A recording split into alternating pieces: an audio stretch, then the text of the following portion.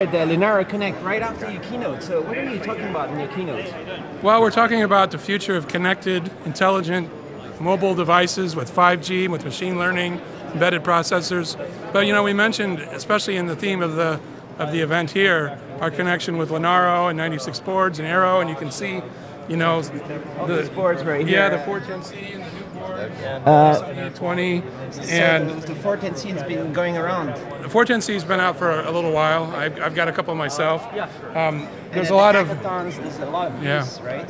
A lot more than ever. It's gotten a lot easier to use from the very first days, and now there's. Uh, you know, like there's a camera board and audio board, a lot of mezzanine boards available. Uh, getting the 820 there now. Yeah. More performance into this community, right? Right. The 820 is a significant upgrade, and that's going to add a lot of capability. And uh, you were talking about the 5G and the AI and all that stuff. Uh, things are going to get very quickly. People are going to start using that.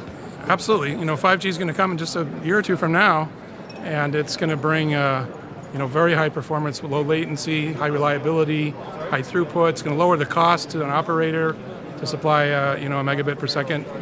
It's going to it's going to be available in lots of different categories of devices. So we're we're pretty excited about that.